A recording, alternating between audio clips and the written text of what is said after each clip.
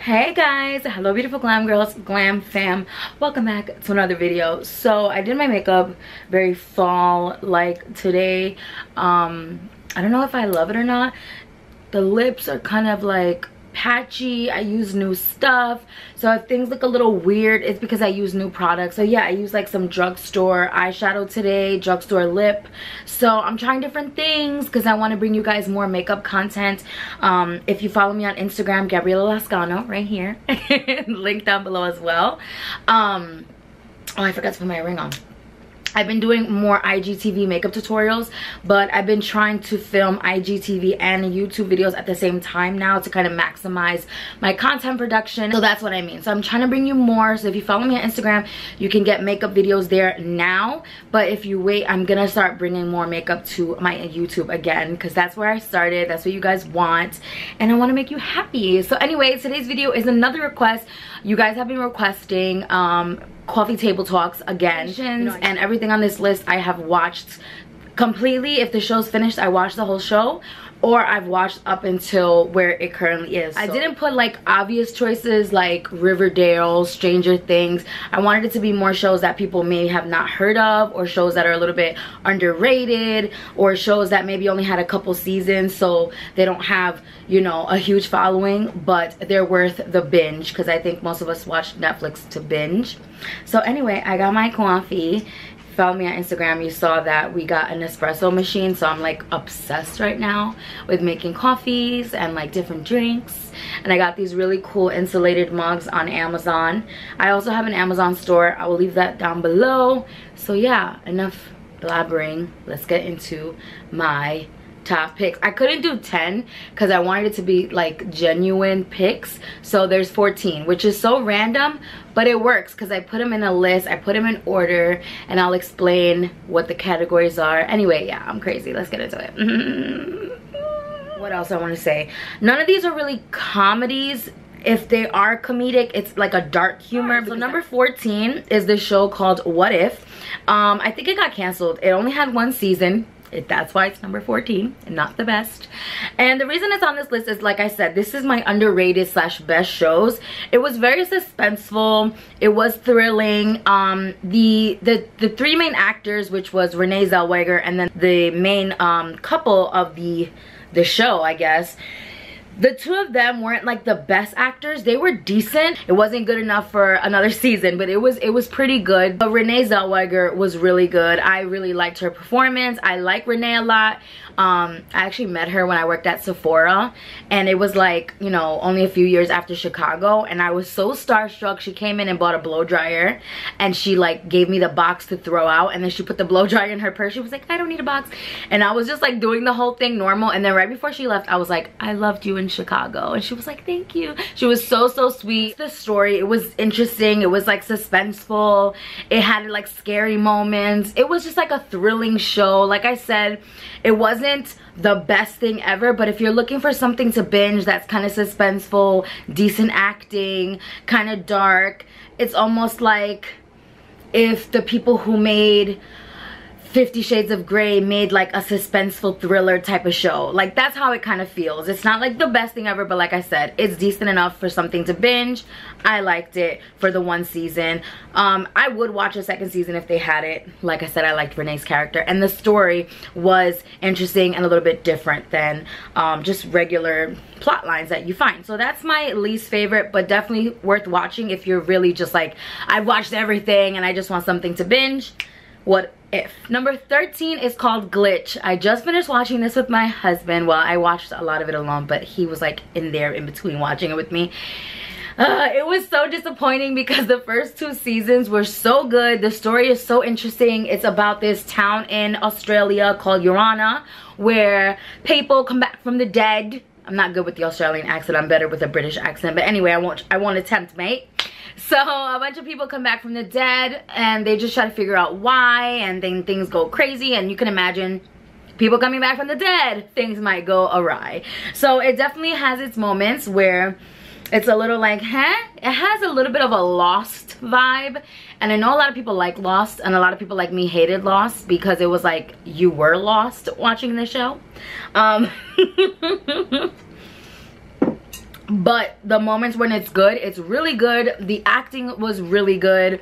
The plot itself had had some holes um but it was really good. The story was fun. It was suspenseful. Again it has that thrilling suspenseful kind of vibe. And if you're american or you're obviously not australian it's fun to see australia and something different because all of you know when you're from new york every movie every tv show is set in new york or chicago or california la and like i've been those places. They all look the same to me. So it's kind of like blah so it's fun to see something different. I think the whole idea of like people coming back from the dead and this idea of like the universe and purpose and like all these these deeper thinking ideas more than just like money being a motivation or things like that. Um, that's what really kind of brought me in. You know it's something deeper than shows that we always watch that are about money and power and sex and blah blah blah. So number 12 is the only comedy here and this show is called great news. Nicole richie's on this show. There's a few people you might recognize that were in some comedies some movies. People that you might recognize who are not like a-list actors but definitely you know recognizable. The main character is a, a girl who's like big a little bit bigger than the kind of girls you see. She's not like fat but she's definitely more full figured so I like the fact that she's the lead. And the the, the love story in the show is not like the typical boring stuff. It's a little bit more comedic and light and cute and sweet. And there's a, a nice story where the main character and her mother go through a lot of transitions. And it's just a sweet show and it is funny. It's kind of quirky and it's set in a uh, newscaster setting. All right the next one is, is a good show but it's on the list because it's on the lower side of the list because it only had one season. And I think also it got a little crazy so the story kind of just like lost itself for me but it was really good to watch and I wish they had more time to um, dig into it and like you know get flesh the story out more. And this show is called happy and I said it like very happy but the show is not happy at all. It's super dark and like fucked up. It stars Christopher Malone, Meloni, right? That's how you say his name? From SVU, of course. What a daddy. Daddy for life. Um, he's just, whew, gets you misty. Anyway, so he's the main star of the show and it's him and this little talking, flying unicorn who's obviously cartoon. And yeah, the show is, I don't even know how to describe it besides the main plot is like he used to be a cop and he's all, he's a drunk and his life is all messed up. And he sees this little unicorn and they go on crazy adventures and it, it's it's weird it's gritty it's uncomfortable at times because you have like this childlike stuff that comes up in the show paralleled with his like drug addiction and alcoholism and he just can't stop saying the f word which i love but it's just so funny um, and messed up and it's just interesting. It's very interesting worth a watch. Um, yeah I, I don't know how to describe it besides that and i wish they had more chance to flesh the story out because the direction it was going in was very interesting. All right so from here up these are all shows that i actually all love. Besides the first like three i think these next six are actually all the same. So it was really hard to put them in a in like different numbers. It's just alta mar. So high seas so you can watch it in different languages. I believe it's available. I know it's available in english and spanish so i watched it in both. And it's available i believe in french. This story is basically has a lot of titanic vibes. The whole story takes place on a ship on the ocean and it's a murder mystery. It's really really cool. Uh, i really enjoyed it. I cannot wait for the next season. I think it's so good. The quality of the show is amazing. It looks better than a lot of movies. The actresses are fabulous. The actors are fabulous. Story is really really cool. It twists and turns and like i said if you like titanic and you want to see that like but with a thrilling murder mystery this is the show for you. It's really, really good. Like I said, I think it takes place in the 20s, 30s, 40s. Dang. Maybe 40s. I think the 40s. Um, and it's just really really cool because you see like all this vintage stuff and i mean it's just a great show and it just takes twists and turns and it's just like it's not as corny and like overdone as novelas it's actually a really good drama nothing wrong with novelas i'm a novela girl grew up on novelas Mari, Mar, like hello. But this one is more of like a serious drama mystery. Okay, so the next one is number nine and this one is called Ag aggretsuko okay, so this show is called aggretsuko and I don't know if I'm saying it more like with a Spanish accent like aggretsuko but it's um it's a, I believe, a Japanese show. Yes, Aggretsuko, also known by its original original Japanese title, Ag Aggressive Retsuko. Um, is a Japanese anime musical comedy. So this is the character. They're all animals and they are, um, you know, cute little characters like Hello Kitty style, you know, um, animation. And it is a really deep kind of interesting look at the 20 something woman who's single in Japan and she works in the city. So it's similar to a coming of age of someone who lives in New York or Chicago because hello she works in the big city. And she's you know just out of college and it's a few years later and they show you like how she used to be this happy young 20 something you know vibrant looking at life vibrantly and all this stuff. And then now a little bit later in her 20s how things have gone downhill and she uses music as an outlet for these problems that she holds inside and all these feelings inside. And it was very interesting and they you know, it actually got a lot deeper in the second season and she, you know, faces a lot of things that I think in your 20s and 30s you do face. It's funny, there's this little cute character and she sings you have to see. You have to see because i can't give it away. Okay so number eight is working moms. This is a canadian show so it's on TV in Canada and then after the, the season airs over there they put it on American Netflix. So it is really really good. It stars people that you've probably seen. The main character if you're Canadian you might recognize some of these actors. Um, I recognize one of them from like comedy stuff the, the main one. Um, so yeah it's a show about working moms. And they all have different situations. There's one that's in a lesbian couple with an adopted daughter.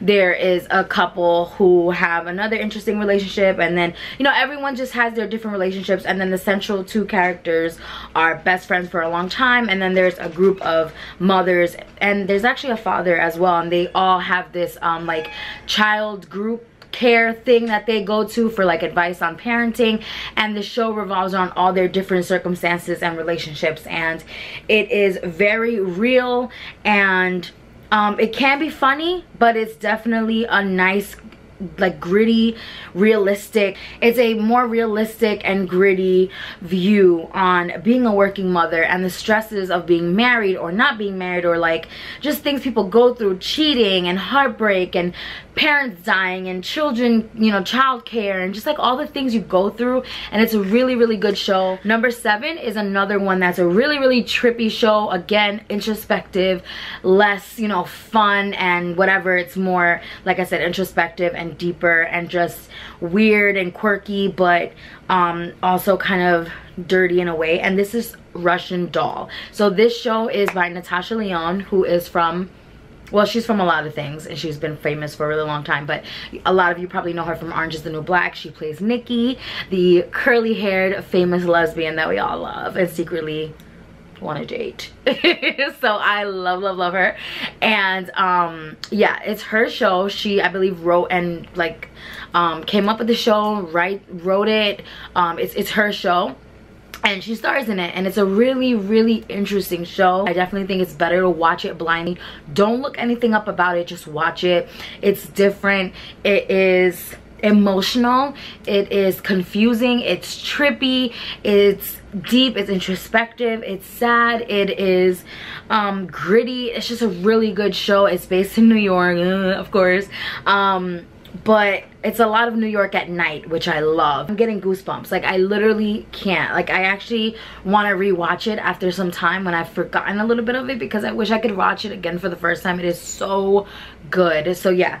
Don't want to ruin anything for you. Just go watch it. Go watch okay. it. Okay, number six is The Sinner. So, this one is really, really good. Again, it's another, like, kind of crime, thriller, suspenseful kind of show. So, it's more of an anthology show. The first season, I believe, was a couple years ago and that one starred Jessica Biel and that um first season was amazing. I actually that was before it was on netflix when it came out and i actually bought i found a dvd of the first season at dollar tree and i actually bought it and like binged it so fast because i wanted to watch the show so bad and it's such a good show. The first season is amazing. Jessica biel is incredible.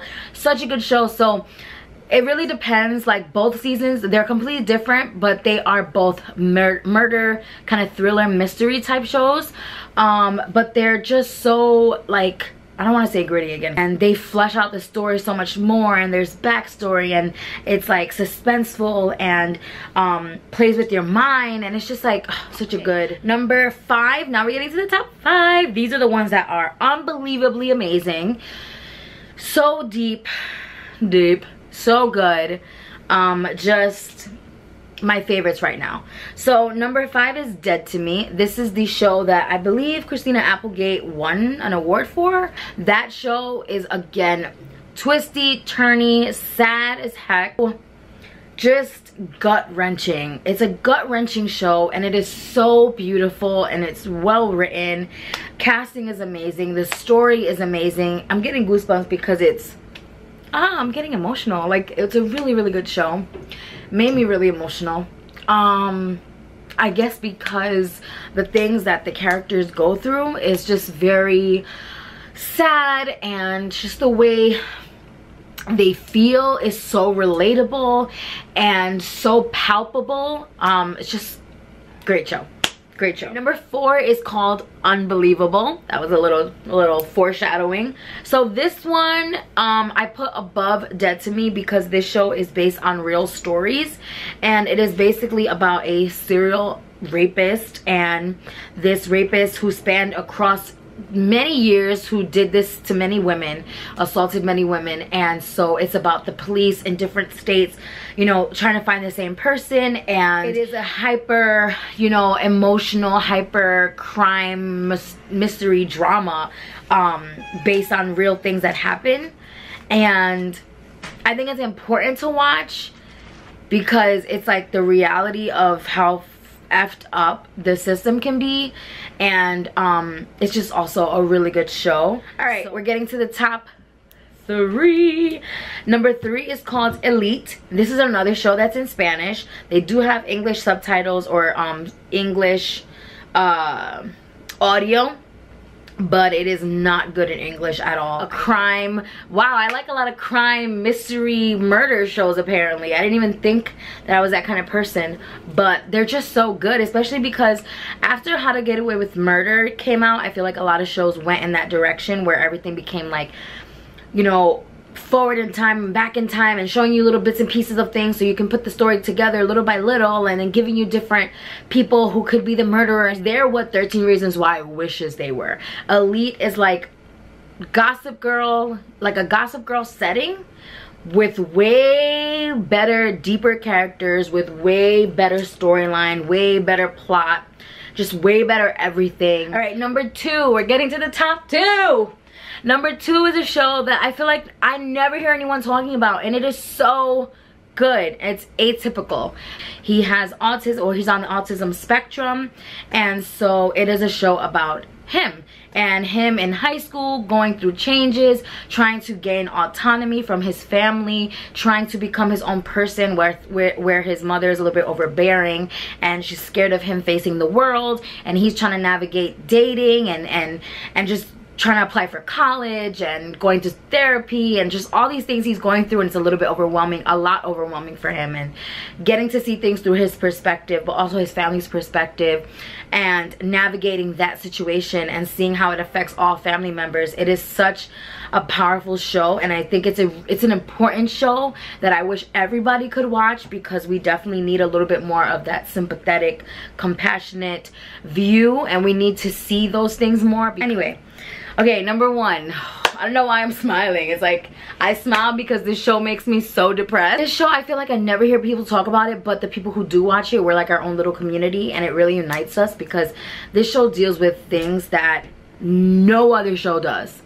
It is so introspective and I don't want to say deep again, but it's very, uh, I can't find the words I, I can't find the words. It just deals with things that people don't deal with.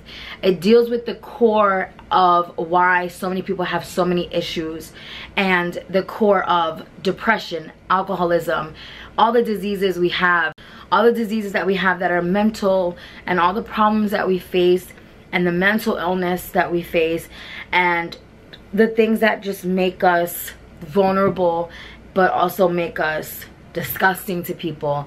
And it really like hones in on those things and shows us the worst of the worst but still trying to be the best. And I, I, just can't even begin. I mean maybe if you like just YouTube it you might find people who can describe it better. There's a guy here on YouTube. His YouTube name is Shady Do Rags. I love love love the name. Um, and he does a lot of videos on Bojack. I wouldn't recommend watching them until you watch the show but if you do want to watch one or two just to kind of get an idea um, to me he does like the best kind of overviews and um, introspective fleshing out type videos where he really like delves into the stories and dissects the characters dissects the things they go through talks about the pathology behind the things and there's just a lot to discuss when it comes to this show.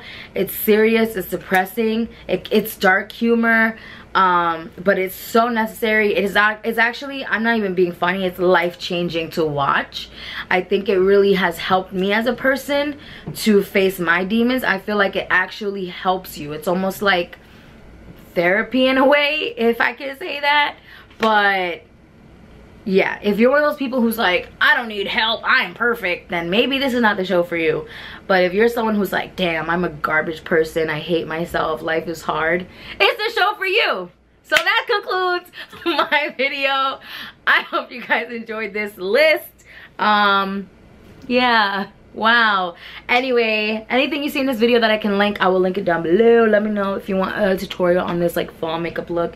I don't know how i feel about it yet. I don't know. Maybe it's the earrings i don't like I don't know. Anyway, yeah. Cheers. this wasn't depressing at all. okay. Don't forget to like, comment, subscribe, all that good stuff. And I'll see you in the next video. And of course, stay glam. Bye. You like my lips look crusty. I can feel like they're crispy. They look pale too. This little baby hair is killing me too. Why do I do my hair? Show me. my god, freaking how do you spend so much time blow drying and then you still end up you know